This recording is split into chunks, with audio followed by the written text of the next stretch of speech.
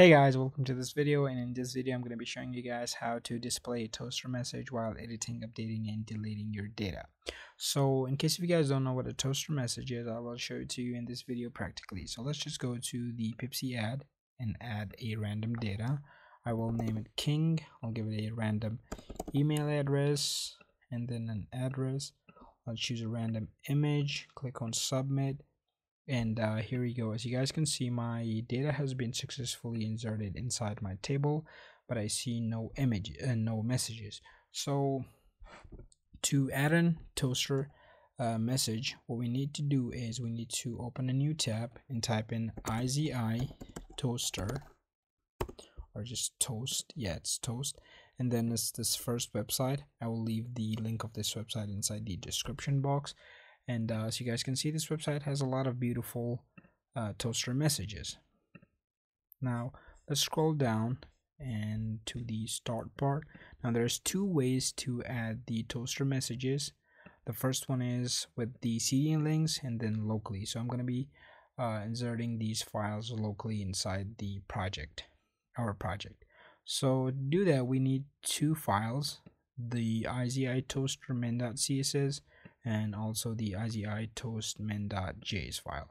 So let's copy this text and search it on Google and download it from the this website. So let's download this CSS file.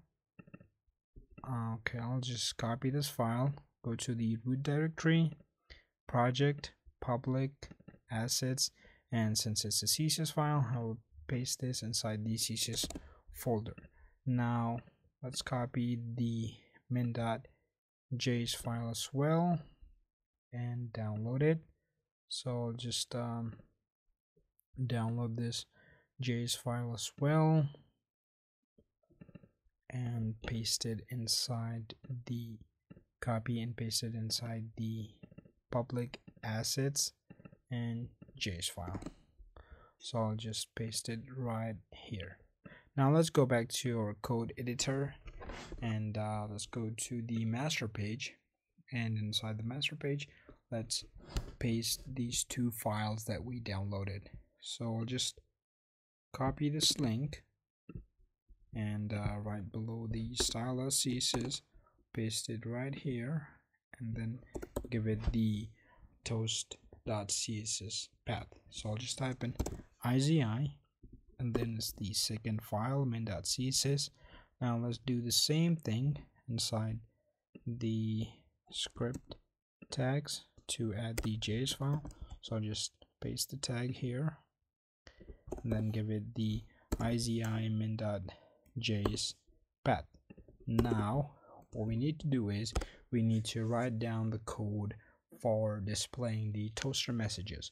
So to write down the code and display the messages it's pretty easy. What we need to do is we need to start with an if condition. So I'll just um, type in if and then access the session function and then get and let's name our message. So I'll just name it success.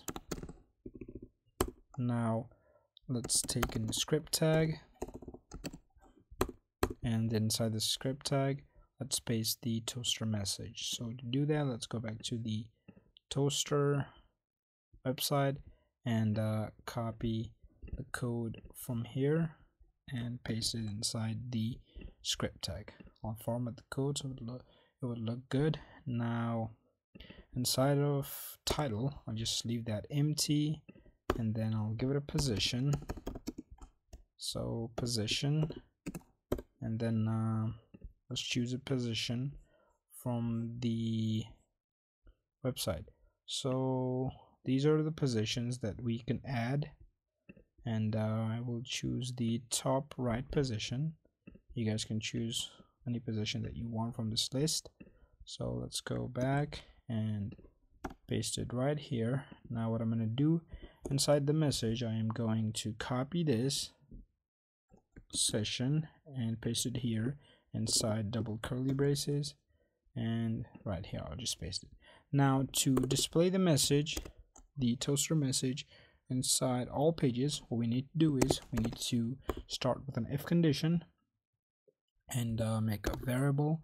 So just make a variable errors and then um, I'll access the any function to display in all our pages and then I will take a for each loop. And then inside this for each loop I will access my variable so it's called errors.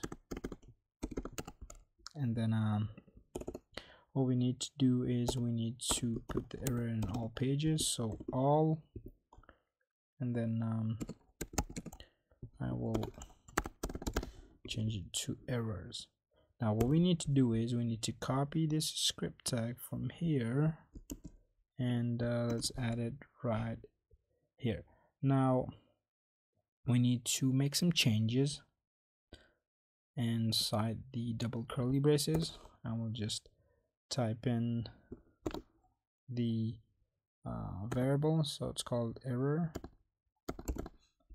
And then uh, what we need to do is we need to go to a controller and um, let's add it inside the update function. So right here access the with function and then uh, our message. What was our message? It was called uh, success. So I'll just copy this message and paste it right here and then write my own message. So I'll just type in successfully updated. Since we are going to be displaying this message inside the update function. So let's go back to our page and uh, refresh this. Uh, let's edit this. I will change the address to let's just say Zimbabwe or Zambia let's click on submit and there we go as you guys can see. The message has been successfully displayed here. Now what we need to do is we need to go back to our master page and instead of show I will just type in success. And do the same thing right here. Now let's go back refresh this and uh, let's update this data we'll make it London. And I'll choose a default image. Click on submit. And there we go. As you guys can see our toaster message has been successfully uh, displayed. Now we can also add this inside the delete function as well. So to do that what we need to do is simply go to the delete function. And right here says the with. And then um, our toaster message name and then our message. So I'll just say successfully deleted. Now let's go back to our page refresh this and click on delete. Okay it says call to method. So oh okay sorry. I typed it wrong. So it's with now let's refresh this. Go back refresh and it was deleted. Now let me delete this data as well show you guys and there we go as you guys can see it successfully deleted. You can add this message while um, editing updating and uh, deleting your data. So if you guys have any question make sure to comment down below and i'll be happy to help you guys. Don't forget to like and subscribe. See you guys soon